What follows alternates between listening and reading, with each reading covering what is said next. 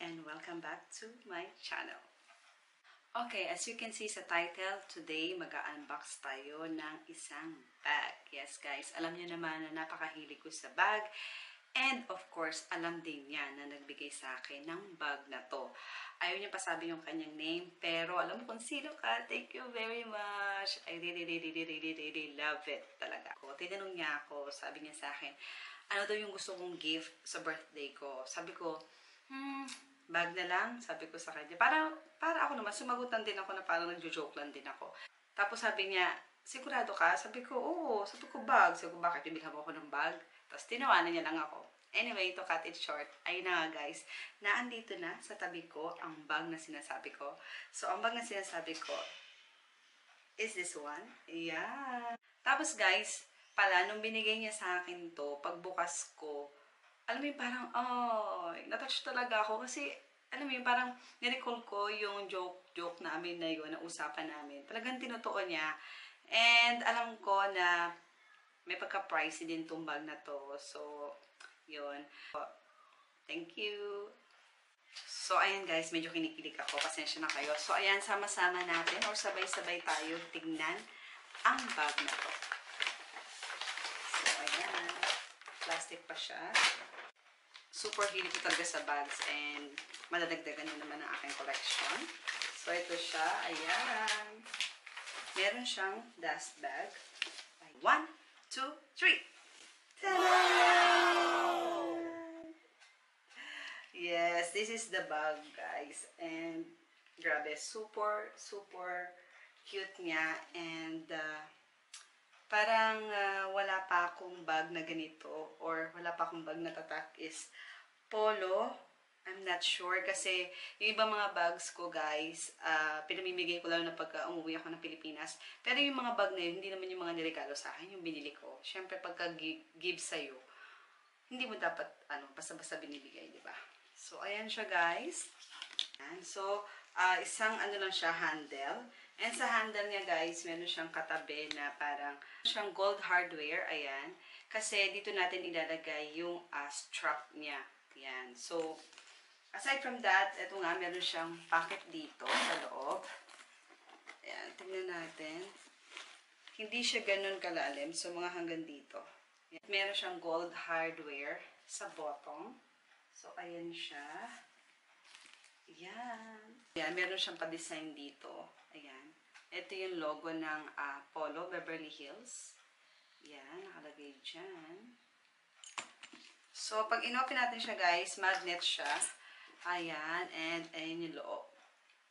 Tingnan natin kung ano meron dito sa loob. Meron siyang papel. Joke. Of course, para hindi ma-flat yung bag. Kaya may papel sa loob.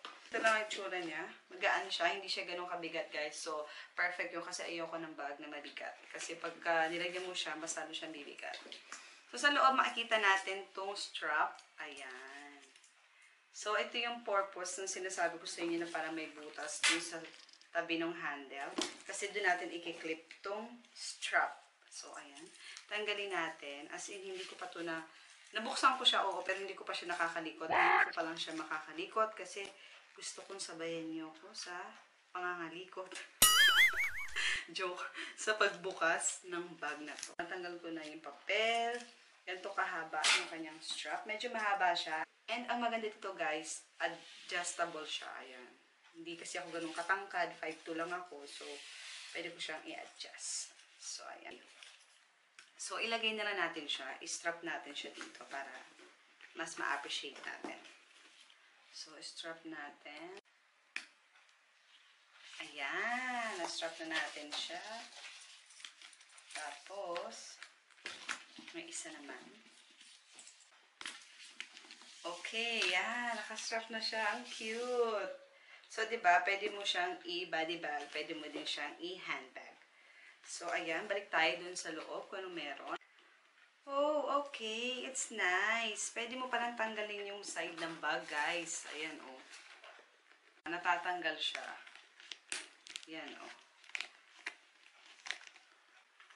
So, ayan, natanggal ko na siya. So, tanggalin muna natin siya, guys, para mas makita natin ng maayos yung loob. Okay? So, ayan, sa loob niya, guys, meron ditong, ah, tawag dito, ah, silica gel. Guys, itong silica gel, huwag nyo itatapon. Importante ito, lalo na kung leather yung bag nyo. Kasi, nakikip niya yung uh, pagiging leather ng bag nung nag-absorb siya ng mga any bad moisture na pwede ma-absorb ng bag. Kaya maglagay kayo ng ganito lagi sa bag nyo. Si Alexine sa background. Anyway, ayan. Meron siyang 1, 2, 3 packet sa loob.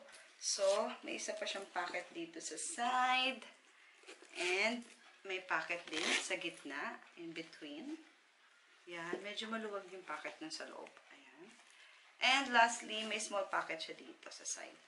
So, very spacious din yung loob niya, guys. Ayan, as you can see. Saktong-sakto lang to sa size ko kasi nga, hindi ako fan ng mga masyadong malalaking bag. And let's do this. Let's try this one. Lagay natin ito sa harap.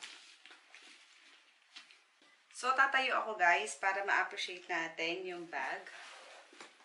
So, ayan guys, nakatayo na ako. So, ito yung bag kapag ka gusto mo ng handbag lang. Yan. Layo tayo. Yan, ganyan. And kapag ka sling bag naman, or shoulder bag, whatever you prepared na gamitin yung bag. So, ayan. Yan. Diba, ang cute. Hindi rin ako masyadong fan ng sling bag kasi parang nadidisturb yung dibdib ko. Naka-sling bag ako. So, I'd rather use it as a shoulder bag. Yung long shoulder bag. Ayan. Diba, ang cute niya guys. Ang nice, nice naman. Natutuwa ako as in, I'm so excited na magamit to. And, syempre, ipopost ko siya sa aking Instagram account. Follow niyo ako, huwag niyo kalimutan. Isa Jean. So, sa bigay na bag na to sa akin, maraming maraming salamat. Alam mo na love na, na love na love kita. And, of course, I'm very thankful to have you as my friend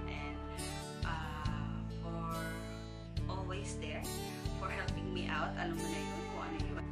Hindi naman minsan nasusukat yung tagal ng pagiging magkaibigan sa, sa haba ng panahon na magkasama kayo. Minsan may mga kaibigan ka na bago lang dumating sa life mo, pero it seems like uh, matagal na kayo magkakilala. So, yung ng pag sa akin, isa siya sa mga yun. Napaka ano, napaka uh, bait ng taong to. Uh, Hindi, ano siya, sobrang ano, sobrang totoo niya talaga dahil na pagdating sa akin, naramdaman ko yung pagiging true niya as a friend. So, sana hindi na magbago. I want you to know that I'm also here for you.